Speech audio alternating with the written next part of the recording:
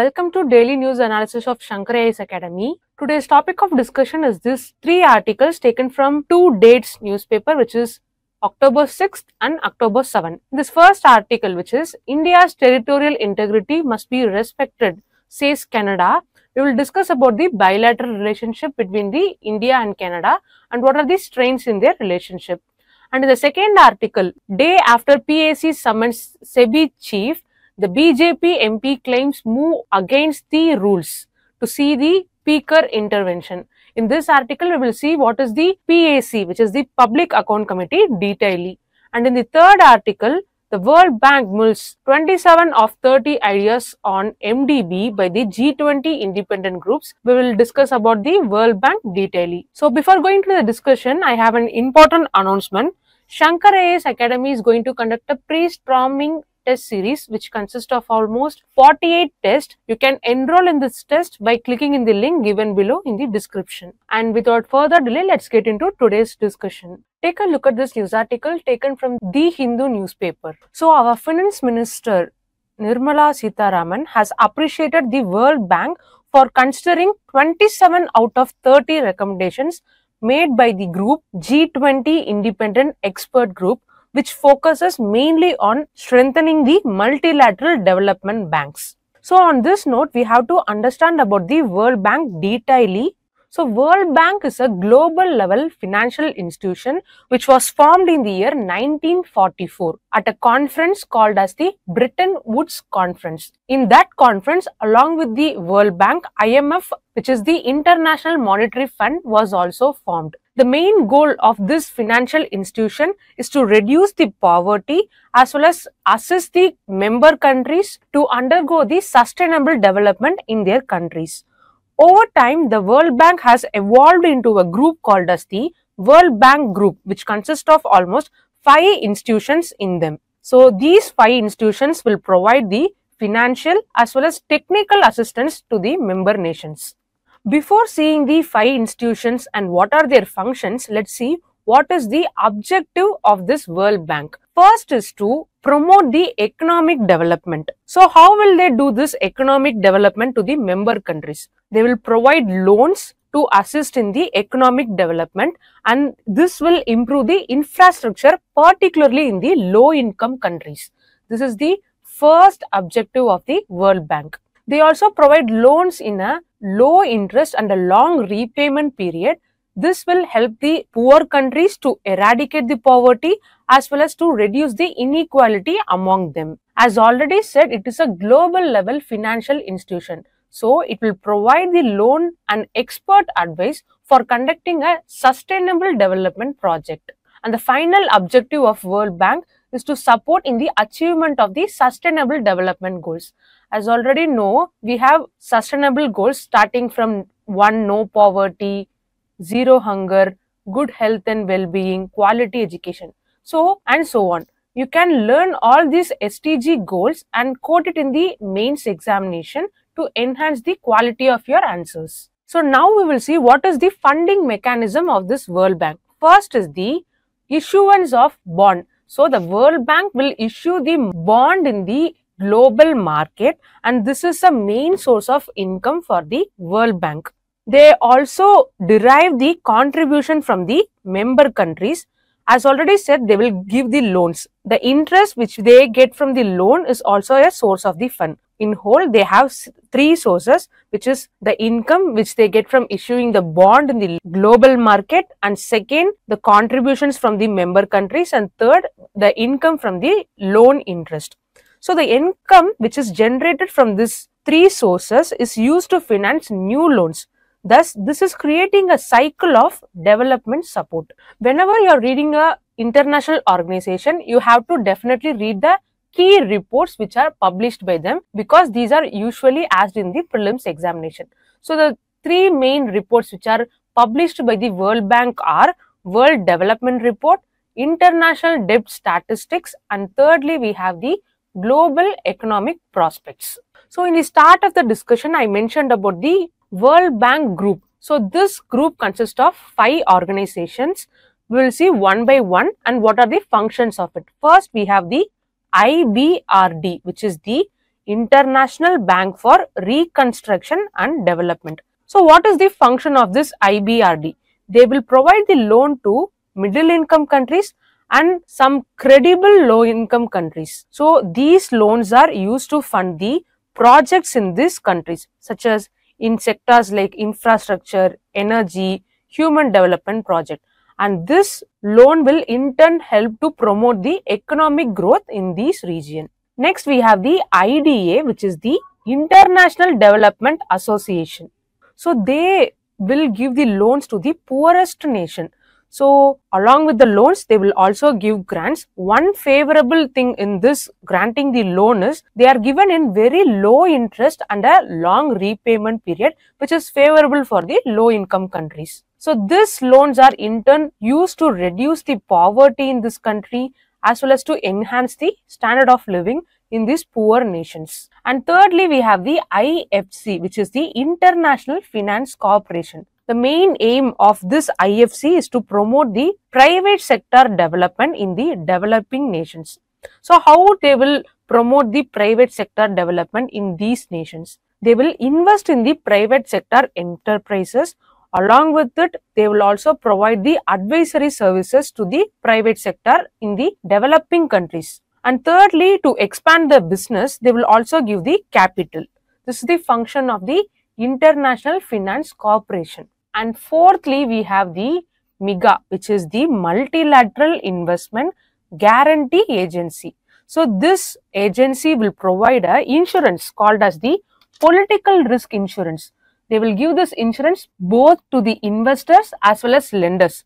This will help to facilitate the foreign direct investment in the developing nations. So by providing the insurance to the developing nation, it will ensure that the investment are protected against the unfavorable conditions such as war and the seizure of properties. And the final organization in the World Bank Group is the ICSID, which is the International Center for Settlement of Investment Dispute. So it is the function of the organization can be identified by the name itself. It is a investment dispute redressal group. So they will offer the arbitration for any investment groups between the international investors and the country which they have invested, which is the host country. So this organization will help us to create a investor friendly environment particularly in the developing nations. But you have to note that India has not ratified the ICSID convention. This is the five World Bank groups and the function of the each group. So now we will see what is the relationship between India and World Bank. You have to understand that India and World Bank have a long-standing relationship because India is a major borrower from the World Bank. So the World Bank has given assistance to India in many development projects such as the Pradhan Mantri Gram Sadak Yojana. In the year 2020, World Bank has provided almost 500 million dollars for construction of roads in under the Pradhan Mantri Gram Sadak Yojana. As already said, they will give the financial assistance to developing nations such as India on many sectors such as infrastructure, rural development, energy and poverty reduction.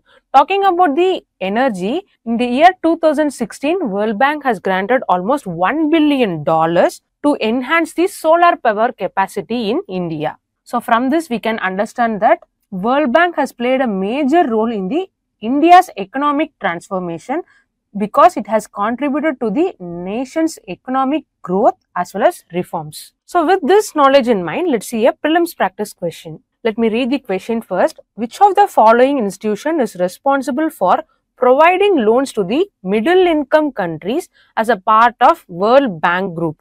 So the answer will be C, which is International Bank for Reconstruction and Development, which is IBRD.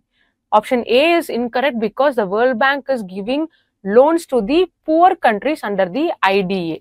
So, and option B is also incorrect because International Finance Corporation, they are giving loans to enhance the private sector enterprises in the developing nations. So, the correct answer will be C, which is IBRD. With this, we'll conclude the discussion on this article and now let's move on to the next one. Take a look at this news article taken from the Indian Express News. Let's understand why it is in the news first and what is the news. First, you have to understand that PAC is nothing but the it's a parliamentary committee called as the Public Account Committee. Usually, the leader or the chairperson of this committee will be the member from the leader of opposition in the Lok Sabha. With this, this news is that the BJP members of the Public Account Committee are saying that the PAC chairman Venugopal to move the review to the SEBI performance is unconstitutional and it is violating the parliamentary rules. So, based on that, the BJP MP Nishikant Dubey has written a letter to the Speaker Om Birla seeking to stop the inquiry and arguing that the PAC do not have the authority to scrutinize the SEBI. This is the news. With this, let's understand what is PAC, what is the purpose of PAC, what is the composition and membership, what are their powers. We will also see what are the important judgments related to the PAC. So, let's start it simple. What is PAC? It is a parliamentary committee which consists of members from both Lok Sabha as well as Rajya Sabha. They will ensure that the funds are used by the government efficiently and legally and only for the intended purpose. So, how will they do this? They will examine the accounts of government, they will examine the audits which are conducted by the CAG.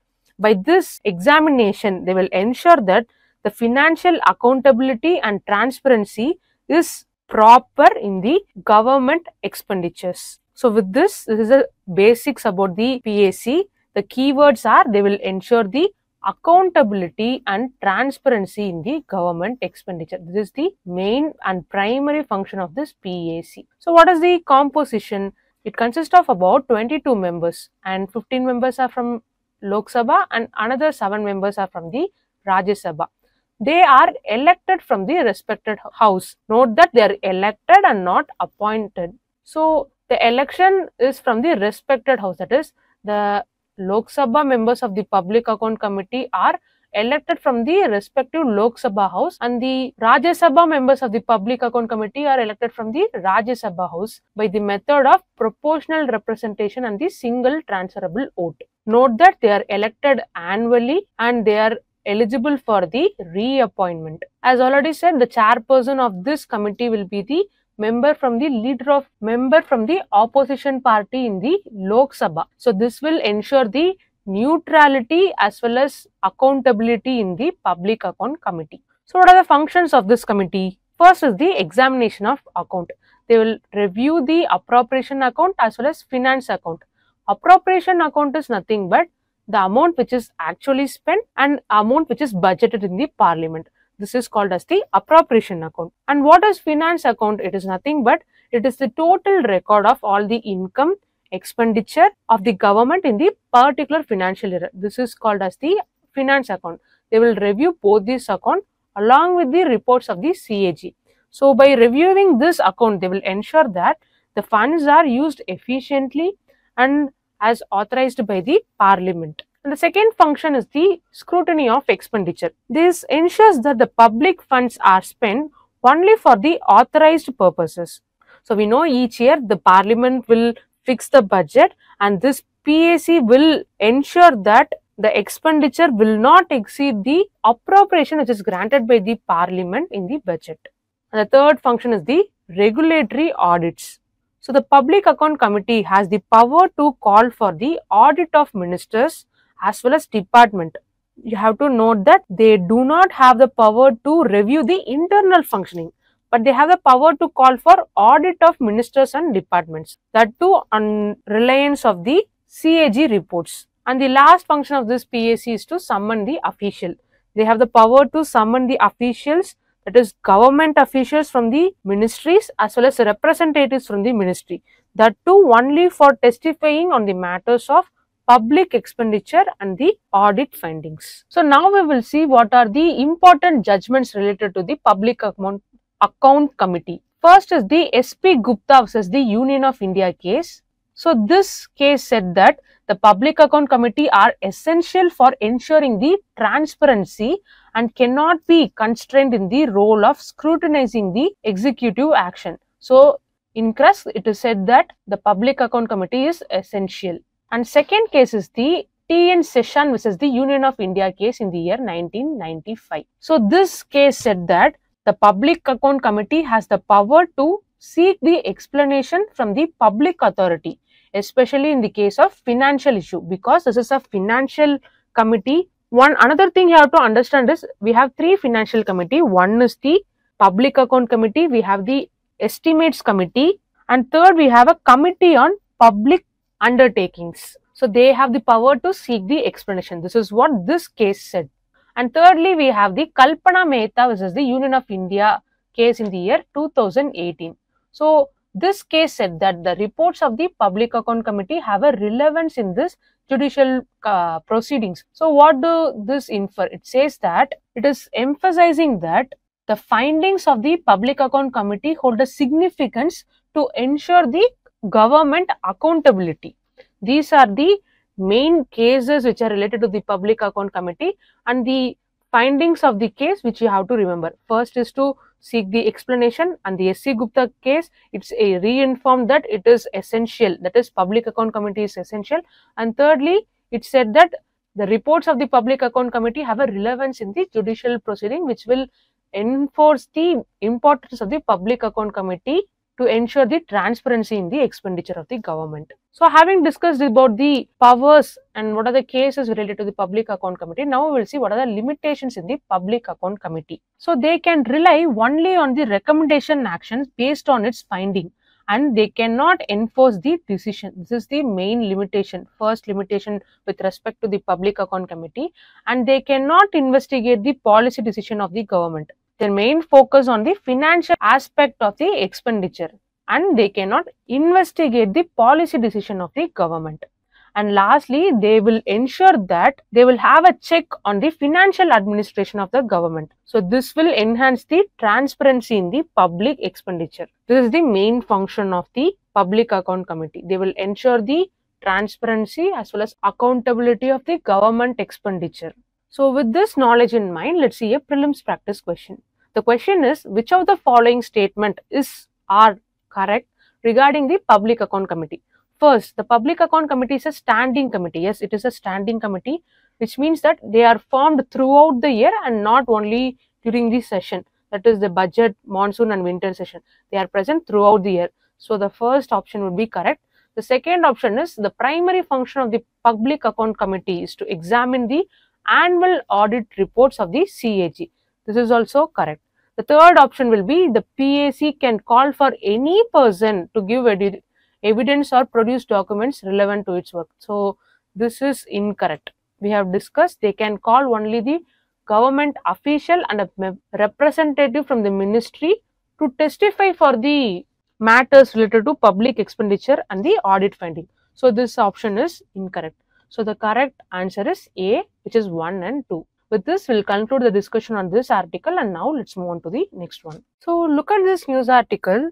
This is talking about the Canada and India relationship. First, you have to understand that usually these two countries have a positive relationship, but they do have a certain strain such as uh, the Khalistan separatist movement. India is concerned over the Canada's tolerance towards the pro-Khalistani elements in their country. So this has particularly affected the relationship between them. Khalistan movement is nothing but they are opting for a separate Sikh state. So this is supported or tolerated by the Canada and which is a major concern for India.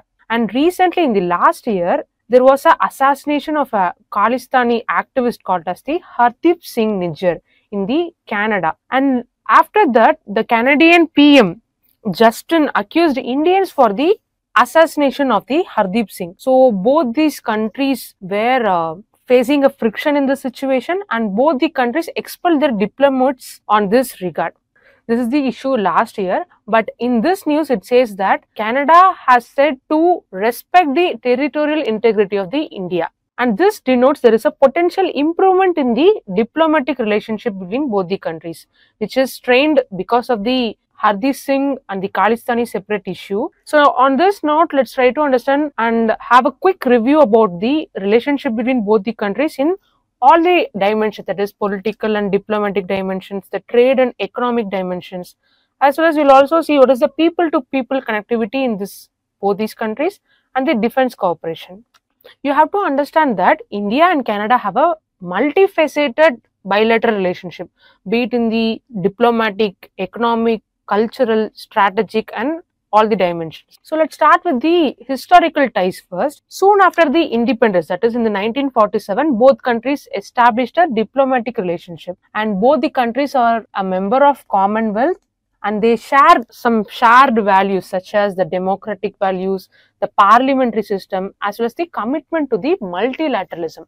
Multilateralism is nothing but many countries are coming together to work together to solve a global problem. This is called as the multilateralism. Over the years, there has been many high-level visits between both the countries and this has contributed to strengthen the relationship between them because they have discussed in sectors such as trade, energy and many strategic issues. So one notable thing is that our Prime Minister Modi has visited the Canada in the year 2015 and the Canadian Prime Minister Justin has visited India in 2018. So this bilateral visits has improved the relationship between both the countries because they have discussed the factors on all the sectors such as the trade energy. So now we will see what is the economic and trade relationship between both countries.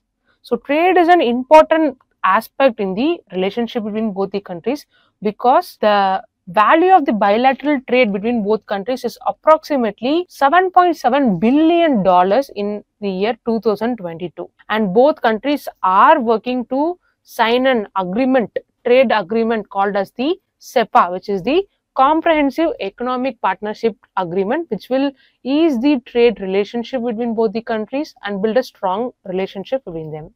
You also have to understand that both countries are investing on each other's soil. For example, we have the Canadian Pension Plan Investment Board and other investors who are involved in various Indian projects. Similarly, the Indian companies are also investing in Canada, particularly in the field of IT, mining, and pharmaceuticals. This is with respect to the investment relationship between both the countries. And third, we have the economic energy cooperation between both the countries, especially focusing on the nuclear and the renewable energy sectors. So both countries have signed an agreement in the year 2010 called as the India-Canada Civil Nuclear Cooperation. Under this, the Canada is exporting uranium to India only for the civilian nuclear energy purposes. Note that it is only for the civilian energy nuclear purposes and not for the military purposes. You can also remember the name of this agreement. Now we will see what is the defense cooperation between both these countries. Both countries have a same goal and a shared goal on the peacekeeping, counter-terrorism and maritime security. So they are participating in multilateral forums such as UN, G20 and Commonwealth and are focusing on issues such as the counter-terrorism and keep a check on them. Talking about the Indo-Pacific region, both countries have a same goal that is to support a free as well as an open Indo-Pacific region. So both are collaborating together to ensure the regional security and economic cooperation in this region. And the important factor which you have to discuss is the Indian diaspora in the Canada. Indian diaspora in Canada is one of the strongest aspect of the relationship between both these countries because over 1.4 million people of Indian origin are living in Canada which is about 4% of the population of Canada, which is a significant amount. And these community have a major role in the political, economic and the cultural life of Canada. Another important fact is that almost 2.5 lakh students from India are studying in the Canadian institution. This is one of the major and a large group of international students in Canada. So this is a mention of the issue I already mentioned so we have a diplomatic tension over the Khalistan separatist movement and both these countries expel their diplomats. And now we have ongoing efforts to discuss the trade agreements and security cooperation, which is the CEPA, Comprehensive Economic Partnership Agreements, particularly in the areas of counter-terrorism and organized crime. This is what you have to understand about the India-Canada relationship to have a basic knowledge about the relationship between both these countries. So let's see a geography question from the Canada. So which of the following river is not flowing through Canada? So the Mackenzie River, St. Lawrence River and Churchill River flows through Canada, but the River Trent do not follow, do not flow through Canada. With this, we'll conclude discussion on this, this article. And if you found the video informative, do hit like Give your feedback, as comment and don't forget to subscribe. Thank you. Have a nice day.